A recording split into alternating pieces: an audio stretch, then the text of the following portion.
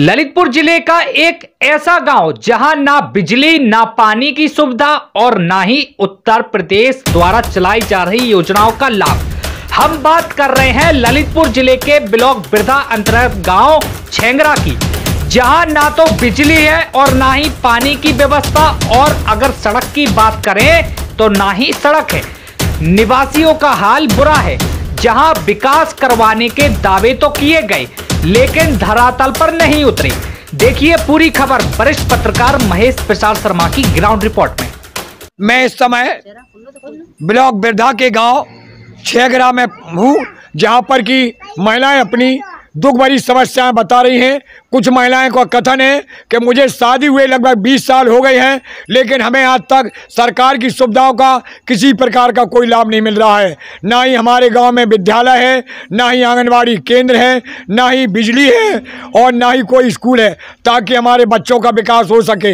हमारे बच्चों को वृद्धा जाना पड़ता है, जो कि खतरों से खाली नहीं है। क्योंकि हमारे घर के पास में बाईपास रोड निकला है, बच्चे जाते हैं और यह सुरक्षित नहीं है। हमें लगता है कि हमारा बच्चा कब सुरक्षित आ रहा है। अब देखिए, इस गाँव की महिलाओं से हम आपको बतलाते हैं इनकी क्या क्या समस्या है। हाँ भाई आपका क्या नाम है? हमारा राम राजा बेटी है। हम बिर- बिरदा मतलब पोस्ट छेगरा की रहने वाले हैं। तो आपके गाँव की क्या समस्या है भाई? हमारे गाँव की हमारे गाँव यहाँ पर कोई ना ही विद्यालय है ना ही आंगनवाड़ी हैगी। और ना ही कोई राशन मिलता है ना ही बच्चे लोग स्कूल जाते हैं ना जाते हैं जाना पड़ता है उनके लिए बहुत दूर है। मतलब स्कूल बिरदा दूर है तो रोज़ाना एक्सीडेंट होते हैं यहाँ पर। तो बच्चे वहाँ वहाँ पर कहाँ कैसे जाएँगे? छोटे छोटे बच्चे हैं लाइट नहीं है यहाँ तो लाइट भी नहीं है कुछ नहीं है। मोमबत्ती जलाकर बच्चे पढ़ते हैं। दस रुपए की मोमबत्ती दो दिन एक दिन को नहीं होती है।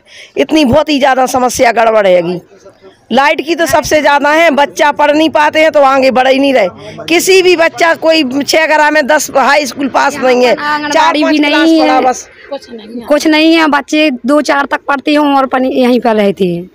आप बताइए हमारे यहाँ आंगनबाड़ी केंद्र नहीं है। यदि हमारे यहाँ होता तो हमारे बच्चों को भी राशन मिलता। वहाँ पढ़ाई भी होती उन बच्चों की। जो बच्चे अशिक्षित हैं पढ़ने के लिए वृद्धा जाते हैं तो बाईपास लगा हुआ है। तो हम लोगों को डर लगता है कि हमारे बच्चे कुछ ना जाए कैसे घर आते हैं तो शाम तक डर लगा रहता है। जाने नहीं देते हैं। हाँ गुड़िया आपका नाम क्या है बेटा? हर कुमार कुशवाहा। हर कुमार कुशवाहा। आप बताइए आपकी सरकार की सुविधाओं का लाभ मिल रहा है आपको कि नहीं मिल रहा? नहीं मिल रहा है। आपके गाँव में लाइट वगैरह है सबके नहीं है? नहीं है। क्या क्या नहीं है आपके गाँव में? बिजली भी नहीं है स्कूल भी नहीं है आंगनबाड़ी भी नहीं है। कुछ और हाँ। आशा आशा भी नहीं आती है। अच्छा तो आपने इस संबंध में सरकार को या विधायक को या मंत्री जी को अवगत कराया कुछ? नहीं जान जानते ही नहीं है पढ़े लिखे नहीं है। अच्छा अच्छा। महिलाएँ। आती हैं तो वोट मांग लिया जैसे हाँ बताइए भाई आपका क्या नाम है? हम कुसम। कुसुम? हाँ ने हमारे गाँव में समाज के हैं? हाँ कुशवाहा। कुशवाहा। ने हमारे गाँव में बिजली या आपके समाज का विधायक है तो आपने विधायक को समस्याएँ नहीं बताई? माँ को को गई नहीं करा। हाँ? हाँ नहीं कछु गई नहीं होता ही है वोट मांग भी आओ तक के लिए वोट बा। आपका क्या नाम है भाई? प्रेम बाई कुशवाहा। अच्छा। बताइए आपको क्या समस्या है गाँव की? ना लाइट या ना कलती मोड़ी मोड़ा नहीं स्कूल ना बे मेला आंगनबाड़ी क्यों कछु सम। जीते जाओ भी जाकर मन्नू हौ मन्नू कोरी हमारे कछु मन्नी कोरी ना कछु को नहीं सुनात। के देत के बोते जाओ विधायक नो कहूँ के तंग जाओ अभी तो भगत फिरी थी लाइट की लाइट हाँ माता माताराम आप बताइए हाँ, आप बताइए क्या समस्या है इस गाँव की थोड़ा हमें बताइए आप। कछु तो है नहीं आता ना लाइट या ना कछु का। हाँ? ज़िंदगी तो शादी जाते कितने समय हो गया? हाँ, हाँ, पचास साल। हो गए। हाँ, कछु इंडिया से इंडिया में तो बैठे रहते। आपका नाम क्या है माताराम? सुहागरान सुहाग रानी। हाँ। सुहाग रानी कहती हैं कि भगवान की कृपा से जे का मेरा सुहाग सलामत सलामत है लेकिन मेरी शादी हुए लगभग पचास वर्ष हो चुके हैं। लेकिन इस गाँव में सरकार की सुविधा का मुझे कोई लाभ नहीं मिल रहा है। ना ही हम जानते हैं इस गाँव में ना तो लाइट है ना स्कूल है ना आंगनबाड़ी केंद्र है, है ना विद्यालय कोई। यहाँ तक कि कोटे की दुकान भी नहीं है। हम लोगों को दूर दराज तक कोटा लेने जाना पड़ता है। और कोटे पर आपको माल सही मिलता कि नहीं। ना ही यहाँ पर लेटरिंग है ना कुछ है। लेटरिन की सुविधा है सब लेडीज़ से वहाँ पर जाती हैं रोड पर तो रोज़ाना एक्सीडेंट होती हैं। तो खत्म हो गई। हाँ हमारी एक दीदी भी आती वे भी खत्म हो गई एक्सीडेंट के कारण भी लेटरिन के लिए गई थी।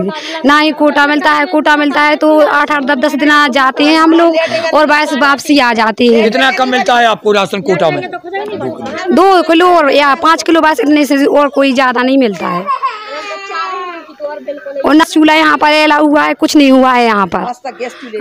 कुछ नहीं मिला है यहाँ पर कोई मतलब सरकारी योजना कुछ नहीं मिल रही और और इतनी पढ़ी लिखी औरतें भी हैं और मर्द भी हैं यहाँ पर कोई सरकारी नौकरी भी नहीं कोई कर रहा है।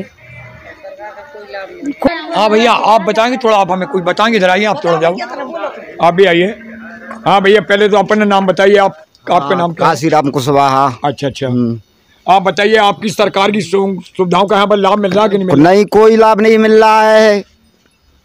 हम्म। आपके गाँव में क्या सुविधाएँ सरकार की? सुविधा कुछ सुविधा नहीं अकेले सीसी रोड है हमारे यहाँ और कुछ सुविधा नहीं है गाँव में। माने ना विद्यालय है? हाँ न विद्यालय ना बिजली बिजली भी नहीं न है। आंगनबाड़ी केंद्र नहीं है। कुछ नहीं है। हाँ। अच्छा राशन मिलता सही मिलता कि सही गलत मिलता है। अगर कौन को दस किलो राशन है दो आदमी के ऊपर तो आठ नौ किलो मिलता है। अच्छा अच्छा। हाँ। ये भी है राशन की कमी है गलत मिलत राशन। आपने अपना शुभ नाम क्या बताया दाऊ? काशीराम कुशवाहा। काशीराम कुशवाहा। तो आपने समस्या को विधायक से नहीं बताया आप अरे विधायक न जाते हैं कोई नहीं सुनता है। क्या कहते हैं वो? कहते हैं कि वहीं प्रधान प्रधान न जाओ बे सुलझाएँगे जी पंचायत। हम्म। तो आप मंत्री जी से मिले कि नहीं मिले? डीएम वगैरह से? हाँ हाँ नहीं मिले सर। ही नहीं पाते तो देखिए इस गाँव की महिलाएँ खड़ी हुई हैं। पढ़ी लिखी महिलाएँ भी हैं कुछ बेचारी बहुएँ। वो बहुओं का कथन है कि हम तो ये जानते ही नहीं हैं कि सरकार की सुविधाएँ क्या होती हैं और क्या लाभ मिलता है। हमें तो मात्र वोट पाने के लिए नेता से लेकर अभिनेता सब लोग आते हैं और उनका यही काम रहता है, और कोई काम नहीं रहता इस गाँव में।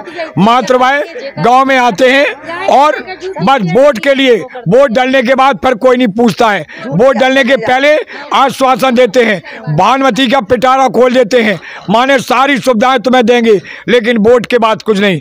आखिरकार वोट तो ये मात्र योगी जी और मोदी जी के नाम पर देते हैं। वो कहते हैं, विधायक और मंत्री, हम नहीं पहचानते, ना ही साहब हम जानते ना इनके द्वारा कोई सुविधा मिलती हैं। हमें तो मात्र योगी और मोदी का नाम लेके हम वोट देते हैं। तो माननीय मुख्यमंत्री जी महोदय से ये जनता जनार्दन मांग करती है कि हमारे गाँव में सरकार की सुविधाओं का लाभ पहुँचाया जाए, यहाँ पर विद्यालय खुलवाए जाए, आंगनबाड़ी केंद्र, यहाँ तक कि गाँव में मोमबत्ती, लालटेन जलाकर यह जी रहे हैं। यानी कि जैसे लगता है कि रामराज आ गया है। रामराज में ना तो लाइट थी ना बिजली कुछ मात्र दीपक जला के जल सब लोग जीते थे। ये महिलाएँ अपनी अपनी समस्याएँ बता रही हैं। देखिए ये बहू पड़ी हुई है। आपका शुभ नाम क्या है बहू? हमारा नाम राजा बेटी है। इनका नाम है राजा। बेटी नाम बता रही है। आप कितनी पढ़ी हैं? बारहवीं पास ये बारहवीं पास बहू है, लेकिन बेचारी को ना तो कोई नौकरी, ना चाकरी, मात्र घर की सुविधाओं से ही मतलब रहता है। बेचारी को आखिर विद्यालय खुल जाए तो बच्चों का विकास हो सकता है, क्योंकि बगल में लगी बाईपास रोड, जिससे कि खतरे को बुलावा है, खतरे की घंटी है। बच्चियाँ, बच्चे स्कूल जाते हैं वृद्धा तक, लौट के सही सलामत आ जाएँ माता पिता यही भगवान से विनय करते रहते हैं। सरकार को भी चाहिए कि इस गाँव में एक विद्यालय खुलवाया जाए, आंगनवाड़ी केंद्र तथा लाइट की भी व्यवस्था की जाए। दूर दराज शहरों में तो व्यवस्था की जा रही है, लेकिन इस ग्रह का विकास कब होगा, यह एक और चिंता का विषय है। मैं पंडित महेश प्रसाद शर्मा ग्रह से।